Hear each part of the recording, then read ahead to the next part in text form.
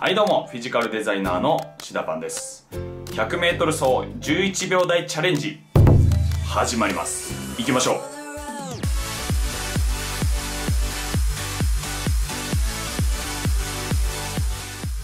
はい。今回からね新しいチャレンジが始まることになりました。前回の動画でやりましたがこいつを引かされまして、えー、ランダムに、えー、このカードにチャレンジが書いてあって私がそれを引いたものをチャレンジするという運びになったんですけど私が今回引いたものが先ほども言った通り 100m 走11秒台を切れといったチャレンジなんですね。もうこれはだから11秒台を切るまで終われないという、えー、とりあえずね今現状でシダパンがどの程度のものなのか、えー、見てもらえればと思います。ちょっと走ってきましたので見てください。どうぞ。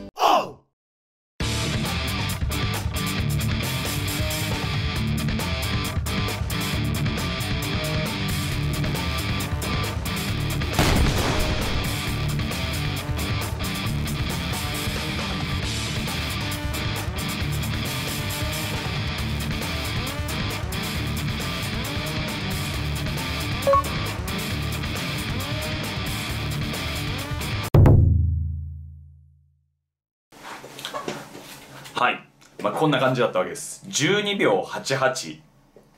なんともね、凡人極まりない記録を叩き出してきました。えー、11秒前、11秒台まで、まあ、ほんと1秒近く削んなきゃいけないので、なかなか果てしないチャレンジになる感じがします。でも、シダパンチャンネルの醍醐味っていうのは、フィジカルトレーニングの可能性を、えー、確かめようっていうところが最たるものなんですよね。だからこそ凡人からスタートしてちゃんとトレーニング積むことでもしこの11秒台っていうハードルがねクリアできた時にはより価値がねあの大きいんじゃないかなと思うわけですよ。よくね身体能力って結構才能って思われがちじゃないですか。クラスで足が速いやつとか部内で足が速いやつっていうのはあいつはもうね速いやつだからねっていう生まれつきみたいなね、えー、そもそも備わってる能力みたいな最たるもんだと思うんですよね足の速さって。でそこに関してまあ多少運動して運動してるからまあ普通ぐらいだと思うんですけどでも本当に普通極まりない今記録だったと思うんですよね、まあ、13秒らへんっていうね。その凡人の私がガチで、えートレーナーの知識をフル活用してしかも努力を惜しまず過ごしていった時に11秒台っていうちょっと才能と言われる領域まで、えー、いけるのかチャレンジしていきたいと思います。これが達成できた暁には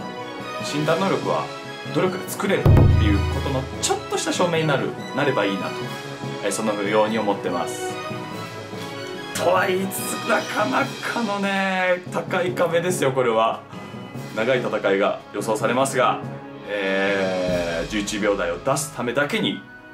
今この瞬間から過ごしていきたいと思います。100m11 秒台チャレンジ角応援のほどよろしくお願いいたします。